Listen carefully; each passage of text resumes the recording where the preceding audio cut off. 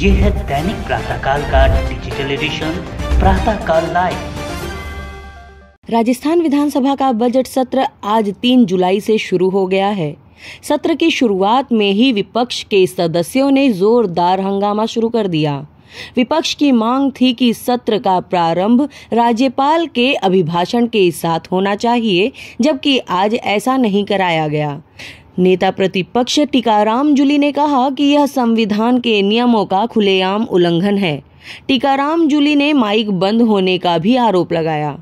उन्होंने कहा कि साल के पहले सत्र की शुरुआत राज्यपाल के अभिभाषण से कराने का नियम है, जबकि अभिभाषण नहीं कराया गया। इस पर विपक्ष के सदस्यों ने संविधान बचाओ का नारा लगाते हुए जोरदार हंगामा किया। दरअसल विपक्ष के सदस्यों के हंगामा करने पर संसदीय कार्य मंत्री जोगाराम पटेल ने कहा कि सत्र की शुरुआत नियमों के तहत ही हुई है। उन्होंने कहा कि यह दूसरा सत्र है, जबकि पहला सत्र पूर्व में हो चुका है। ऐसे में हर बार राज्यपाल के अभिभाषण का नियम नहीं है। इस पर नेता प्रतिपक्ष ने पूछा कि इस साल का पहला सत्र कब हुआ, उसकी तारीख बता दीजिए। इस पर स्पीकर वासुदेव देवनानी ने कहा कि पहला सत्र दिसंबर में शुरू हुआ था, जो कि जनवरी तक चला। स्पीकर के जवाब पर टीकाराम जूली ने कहा कि दिसंबर 2023 में शुरू हुआ सत्र, वर्ष 2024 का पहला सत्र कैसे हो गया? हालाँकि इसके बाद विपक्ष के सदस्यों को कोई जवाब नहीं दिया गया और सदन की कार्यवाही आगे बढ़ा दी गई।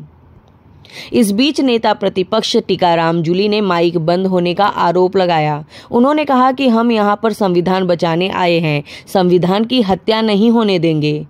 लोकसभा में माइक बंद किए जा रहे थे और यहाँ पर मेरा माइक बंद किया गया है।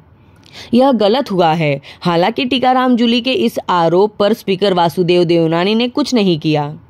वहीं हंगामे के बीच विधानसभा अध्यक्ष ने विधानसभा की पाँच विधानसभा की जानकारी दी है।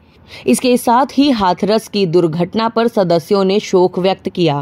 फ़िलहाल विधानसभा 4 जुलाई तक के लिए स्थगित कर दी गई है। वहीं सत्र के प्रारंभ में बांसवाड़ा ज़िले के बागीदौरा विधानसभा से नवनिर्वाचित विधायक जयकृष्ण पटेल को सदस्य पद की शपथ दिलाई गई।